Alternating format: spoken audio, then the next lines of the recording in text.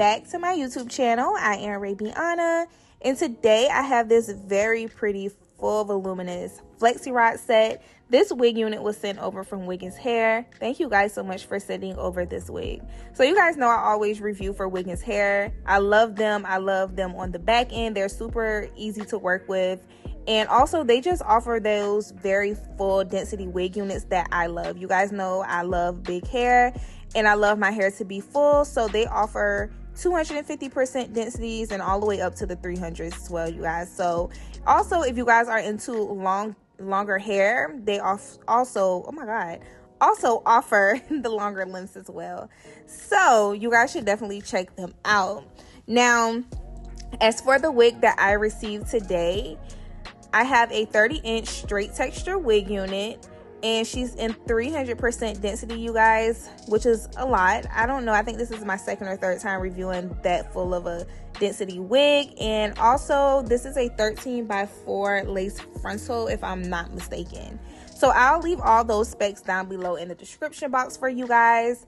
But i am basically just going to be doing a flexi rod set for you guys. But before we get into that i do want to talk to you guys about like this lace frontal immaculate. Like you guys it's so good. I was actually looking at a hair video that i did for wiggins like back in 2020 and you guys the amount of upgrading that they have done to their lace frontals. Oh my god like the transformation is so good. Like the wigs these days are so good you guys. It also does not have a smell either. So again wiggins 10 out of 10 i love working with them they have really good wigs, you guys. I'm so serious. That's why you guys still see me working with them. I've been working with them for a very, very, very, very long time, and they have definitely been consistent with their wig units. So I love that. Um, so basically, as you guys can see, I use my adhesive spray only to apply this wig unit. Um, I didn't really plan on keeping the wig on that long, so that's just the reason why I didn't um, use my Ghost Bond glue. However, any of the products that you guys see in my hair videos, you guys can always find them in my Amazon storefront, and that link is down in the description box as well. So, I just love how natural this wig looks, and I wish I would have done it like completely straight for you guys, but I don't know. I just wanted to do a flexi rod set. I was in the mood for one, and I'm never really in the mood to do flexi rod sets, you guys, because it can be a little longer of a process. But I just wanted to do an updated one. So we're doing one today. I'm doing a deep side part, you guys, and I just think that this lace just looks beautiful. This hairline looks beautiful, you guys. And I did do some light plucking to my baby hairs because I really do like the fluffy baby hair look. Y'all know me. You know, sometimes I come with no baby hairs, but I just love the whole fluffy baby hairs look. So get into it. so I'm just going to take my time and do that. A lot of this is sped up. And then I'm going to come back and talk to you guys about the flexi rod process.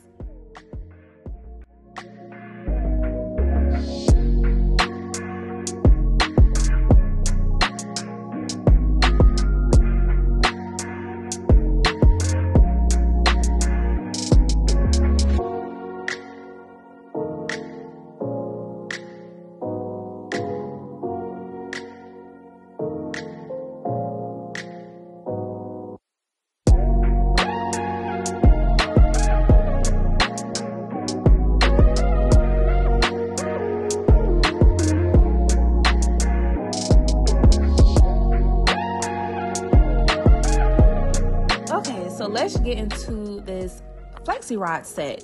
So I'm actually going to put all of my flexi rod sets in a playlist because um, I've done quite a few of them. So I'll leave that down in my description box. However, for all of my flexi rod sets, I do take a wand curler and wand curl the ends. It's just super easy for me to lay the hair down on the flexi rod this way. Um, I don't really have like a lot of flyaways with it. So that's why I do that, you guys. I don't know. Maybe you can skip the step. I don't know. Do what you like. However, when I do the um, flexi rods, I lay my hair on flat. There's different techniques that you could do depending on what kind of style you want. However, I do have a 30 inch wig, you guys, so I did want to keep the length. However, if you want something shorter or like a little bit more poofier, um, you can definitely spiral your hair or twist your hair onto these flexi rods and a spiral curl will come out. So that wasn't the look I was going for. I wanted something a little bit more lax, but of course voluminous. So as you guys can see, I'm laying the hair flat onto the flexi rods and also I make sure that I have the curls going back because I just wanted that look so also I don't know if you guys noticed but I did come on camera with my hair washed and air dried um, of course, it came pressed out, silky, smooth, super straight, sleek, you guys, of course. Um, however, because I knew that I wanted to do a flexi rod set, um, I had to have some tension to this hair. Like the hair was literally slipping out of my hand. So I couldn't like do a flexi rod set like that. I don't know if you guys noticed as well, but I'm using mousse and this is my very first time using mousse.